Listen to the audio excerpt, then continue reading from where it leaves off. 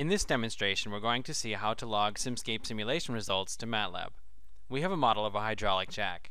There are many simulation results that we wish to analyze and post-process. To make that easy, we're going to log those results to MATLAB using Simscape logging. When Simscape logging is enabled, a data structure is created in the MATLAB workspace whose structure matches the hierarchy of the model. We can use MATLAB commands to go through that hierarchy to create plots, and we can use the Simscape Results Explorer to further investigate that data. Here is our model of a hydraulic lift. We wish to investigate the simulation results of our Simscape model.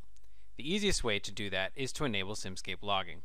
If I go to the configuration panel and select the Simscape pane, I can enable Simscape to record all of the simulation results to a variable in the MATLAB workspace. We'll run the simulation and investigate the results. Now that the simulation is complete, I can right-click on any block in the Simscape network and select View Simulation Data.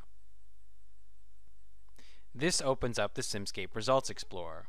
Here I can see the flow rate from the pump.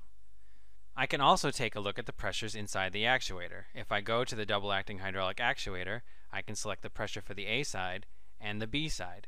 If I wish to overlay these results, I can, I can simply select that here. Simscape logging results also include data from Simscape Multibody. If I go into the scissor lift and click on the prismatic joint inside the actuator, I can see the position, the velocity, and the acceleration of that joint. If I would like to go to that block itself, I can simply click on this hyperlink and I will be brought directly to the place in the model where this data was created. In this demonstration, we have seen how we can log the results of a Simscape simulation to the MATLAB workspace